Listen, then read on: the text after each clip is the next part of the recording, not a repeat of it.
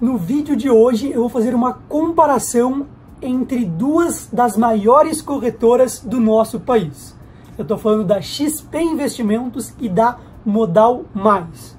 E o meu objetivo é que com essa comparação, com essa análise das duas corretoras, fique muito mais fácil para você poder decidir qual delas é melhor para você. E muito importante de ressaltar é que nós não estamos sendo patrocinados nem pela XP, nem pela Modal Mais e nem por nenhuma outra instituição financeira. Nós recusamos todas as propostas de patrocínio que recebemos porque nós acreditamos que nós temos o dever de passar a informação para vocês, né, para nossa audiência da forma mais transparente, da forma mais correta possível, de acordo com o que a gente acredita e não de acordo com o que as corretoras ou que os bancos querem que você saiba. Quem sou eu para estar tá te falando tudo isso? Meu nome é Bruno Strack, eu sou planejador financeiro CFP e cofundador aqui do Clube do Valor e da nossa gestora de investimentos. Então, fique comigo até o final desse vídeo se você gostou do tema de hoje e tá louco para ver a comparação entre essas duas corretoras, porque no final eu tenho uma surpresa muito bacana para você ampliar os seus conceitos sobre investimentos e já aproveite, obviamente, para deixar o like aqui no vídeo, se inscrever no nosso canal se você ainda não é inscrito ou se você é novo por aqui e clicar no sininho para receber notificações sempre que postarmos novos conteúdos. Então, bora lá! Roda a vinheta!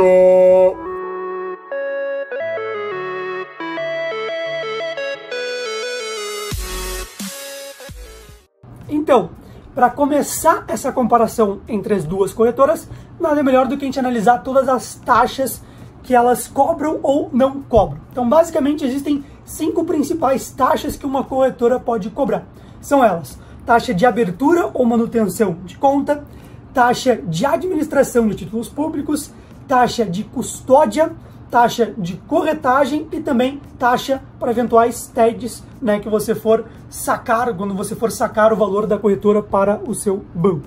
E aqui já começamos com uma notícia muito boa, porque as duas corretoras isentam quatro dessas taxas, que são a taxa de abertura e manutenção de conta, então nas duas é zerada essa taxa, a taxa de administração de títulos públicos também é zerada na XP e na Modal Mais.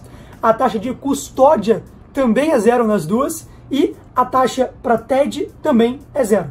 Claro que muitas dessas taxas já são isentas em quase todas as corretoras e bancos, mas sempre bom reforçar que você não paga nada para essas quatro eventuais e possíveis taxas que poderiam ser cobradas. E aí, por fim, a quinta taxa, que tem sim um custo, é a taxa de corretagem. E aí a gente pode dividir essa taxa de corretagem em duas partes. A taxa de corretagem normal para ações e ETFs, principalmente, e a taxa de corretagem para fundos imobiliários, que até pela popularidade dos fundos imobiliários que estão tendo ultimamente, as corretoras estão começando a fazer promoções especiais de corretagem para eles. Então, o que, que a gente observa? Tanto na XP como na Modal Mais, se você operar por conta própria, através do seu home broker, a taxa de corretagem para fundos imobiliários é zerada, tá? E a taxa de corretagem para ações e ETFs, aí sim ela tem um custo que é de R$ 18,90 por ordem na XP, se você fizer por conta própria, ou de acordo com a tabela da B3, com a tabela da Bovespa, que vai aparecer aqui na tela agora para você, essa tabela padrão de corretagem, se você fizer, uh, se você investir né, em ações ou ETFs pela mesa de operações da XP enquanto que na Modal Mais você tem um custo de R$ 2,49 por ordem, ou seja, bem menor do que na XP nesse ponto aqui, a Modal apresenta uma bela de uma vantagem. E eu nem me dei o trabalho de pegar as informações de qual o plano de corretagem, qual a taxa de corretagem especial que essas corretoras cobram para aqueles investidores, ou melhor, para aqueles especuladores que operam em day trade.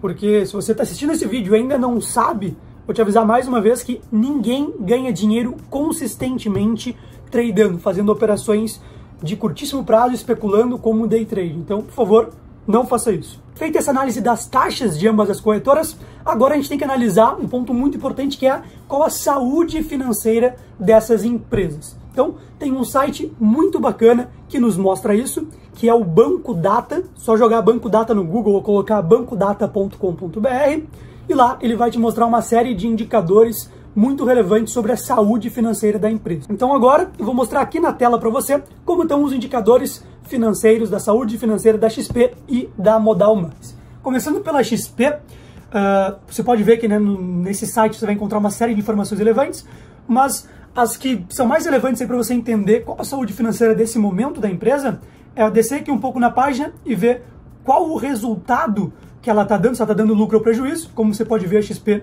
está tendo uma crescente recorrente nos lucros. 2015 foi cerca de 40 milhões, 2016 foi cerca de 63 milhões e 2017 foi cerca de 224 milhões. E outro indicador também bem bacana é o índice de Basileia. Não vou me estender aqui nesse vídeo sobre o que ele significa para não ficar muito longo, mas basicamente é bem intuitivo você ver se o indicador está bem ou mal, basta ver se o reloginho aqui está na área verde ou não. Então, índice de Basileia da XP está ok. Passando agora para analisar a saúde financeira da Modal Mais, que é a Modal DTVM, primeira coisa, quando a gente vai buscar as informações aqui no site do Banco Data, a gente vê que sobre a Modal Mais não tem nenhuma informação atualizada. A última informação foi de 2015 aqui nesse site. Então, o que, que eu fiz? Eu peguei os dados do Banco Modal, que é o banco que controla né, o grupo Modal, o Banco Modal, a Modal Mais e também é, o agora Modal Mais Digital. Vendo aqui os dados do Banco Modal, a gente pode ver né, novamente aqui ele estava tendo um, um, lucro meio que constante em 2015, 2016 e 2017, na casa aí uh, dos entre 10 e 20 milhões, e em 2018, aparentemente, é um resultado parcial ainda, ele teve um prejuízo de cerca de 17 milhões de reais. E se a gente for analisar aqui o índice de Basileia dele, não está tão legal, um ponto de alerta aqui, né? Tá no, tá no pontinho amarelo, é, quase entre o verde e o vermelho, né? no espaço pequenininho aqui de sinal amarelo. Então já mostra né, que, que, a saúde financeira do Banco Modal, que controla a Modal Mais, não está tão bem assim, né, uh, principalmente comparado com a XP. E por que, que é importante a gente analisar a saúde financeira das corretoras que a gente pretende investir, que a gente está analisando se vale a pena investir ou não? Porque embora todas as aplicações que você faça estejam e permaneçam seguras caso uma dessas corretoras quebre, então se você tem se você tem investimentos em uma corretora em títulos públicos, em CDBs, em LCIs, em LCAs, em ações, em fundos imobiliários, enfim, em qualquer tipo de ativo, se a corretora falir, se a corretora quebrar, nada de mal acontece com as suas aplicações que, que você possui. Porém, o grande ponto-chave aqui é o valor que você tiver em saldo na sua corretora numa eventual quebra, né, numa eventual liquidação extrajudicial. E aí, uh, existe uma coisa que a maioria dos investidores não sabem, que é o MRP, o Mecanismo de Ressarcimento de Prejuízos da B3, que ela garante uma proteção de até 120 mil em todas as corretoras, em alguns casos específicos. Quais são esses casos? É, numa eventual liquidação extrajudicial de uma corretora, ou seja, uma eventual falência, o que, que acontece? Todo o dinheiro que tiver parado na conta da corretora que for proveniente de movimentações na bolsa, seja em ações ou em fundos imobiliários, ele é garantido por esse mecanismo MRP né, da, da B3.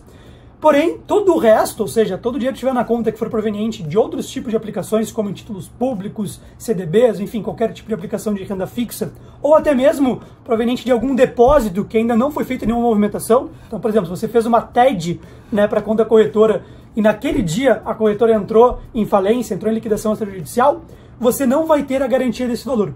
Por isso que é muito importante a gente analisar a saúde financeira das corretoras para não ter esse, essa potencial dor de cabeça no caso de uma falência, de uma liquidação extrajudicial.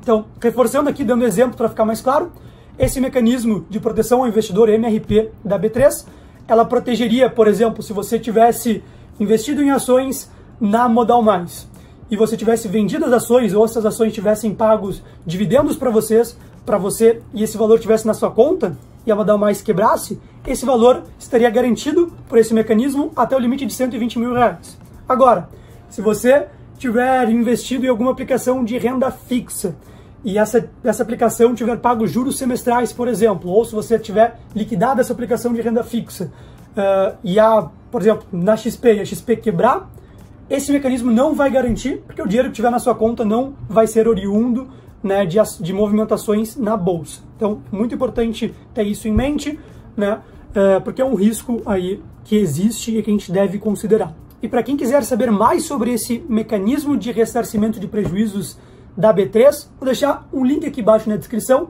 da, que explica melhor como funciona este mecanismo. Feita essa análise sobre a saúde financeira das duas corretoras, agora um outro ponto muito importante a gente avaliar é qual o índice de satisfação dos seus clientes atuais. E nada melhor para a gente, eh, nenhum mecanismo melhor para a gente avaliar isso do que olhando o site do Reclame Aqui. Né? Então, a gente analisando o site do Reclame Aqui, a gente pode ver que a nota da XP atualmente é de 7,1 contra 6,8 da Modal Mais. Então, são duas notas ok, a da XP é um pouco melhor que a da Modal Mais, uh, mas aqui o importante, se você conhecer pessoas, né, amigos, familiares, conhecidos que investem em uma dessas corretoras já e principalmente investem há um bom tempo, sempre é bom conversar, trocar uma ideia com essa pessoa para pegar feedbacks de, de como eles estão uh, satisfeitos ou insatisfeitos com os serviços da corretora. Feita essa análise sobre a avaliação dos clientes atuais das corretoras, outro ponto muito importante a gente analisar é a facilidade de uso das plataformas, que seria a navegação. Então, o único jeito de a gente avaliar isso é abrindo conta nas duas corretoras, como eu falei anteriormente, né? Não tem nenhum custo para você abrir e manter uma conta nessas duas corretoras, na XP e na Muda Mais. Então, o que eu sugiro para que você consiga avaliar este ponto, que é muito importante, né?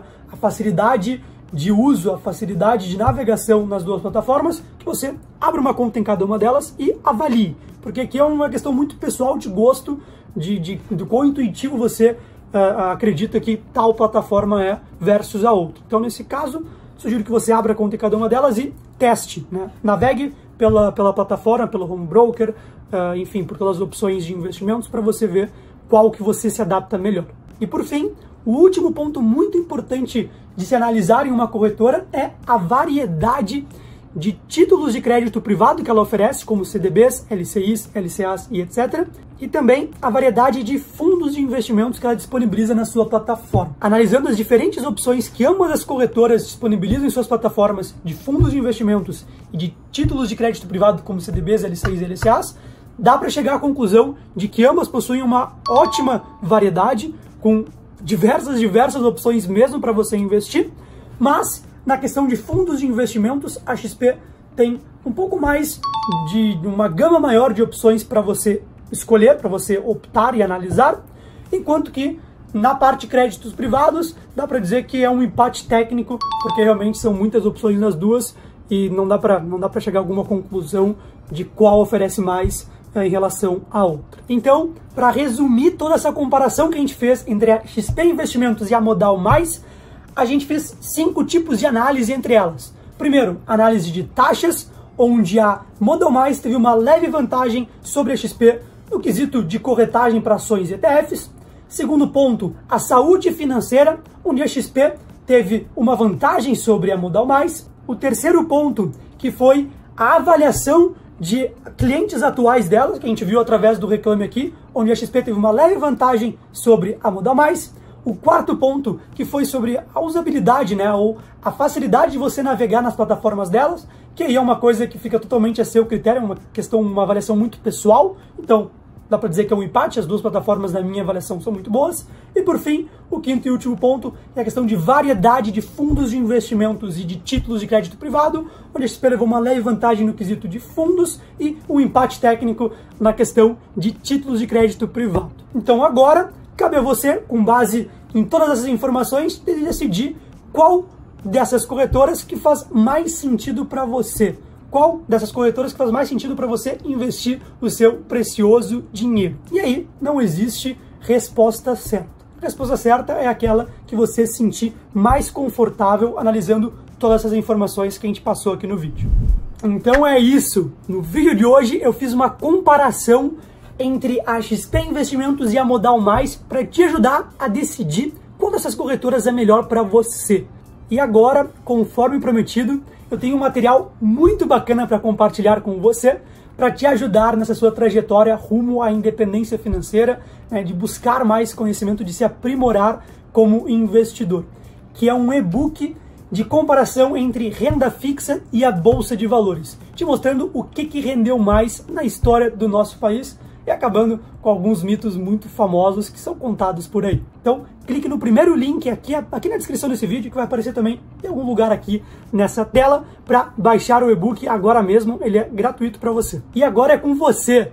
Deixe nos comentários aqui abaixo a sua conclusão de qual dessas corretoras ganhou essa batalha de comparação se você já usa uma delas, se você já é um investidor através delas, se você está satisfeito com o serviço e também se você tem a sugestão de alguma próxima comparação entre corretoras que você gostaria que a gente fizesse por aqui no Clube do Valor. Estou muito ansioso para ver todos os comentários e compartilhar um pouco a nossa experiência aqui abaixo. Se você gostou do vídeo de hoje, Deixe o seu like, ele é muito importante para que a gente consiga levar a nossa mensagem, o nosso conteúdo para cada vez mais brasileiros e brasileiras que precisam desse tipo de informação. Muito importante também, se você é novo por aqui ou se você ainda não é inscrito, clique aqui abaixo no canal de inscrever-se.